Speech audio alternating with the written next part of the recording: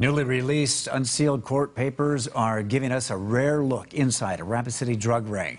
An affidavit originally filed in 2017 says that the ringleader was known as Diablo, which is Spanish for devil. Drug dealers working under him claim they didn't know his real name.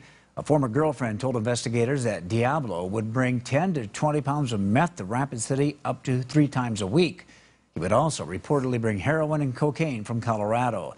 The court papers describe a confrontation on a rural road, an overdose, drug debts, and threats. They also detail a traffic stop that not only turned up drugs, but a stolen Pennington County deputy badge. The documents are now unsealed because authorities have arrested all of the suspects. They're either serving federal prison time or are waiting to be sentenced. If you'd like to check out the documents for yourself, we posted them for you under the story at KELOLAND.com.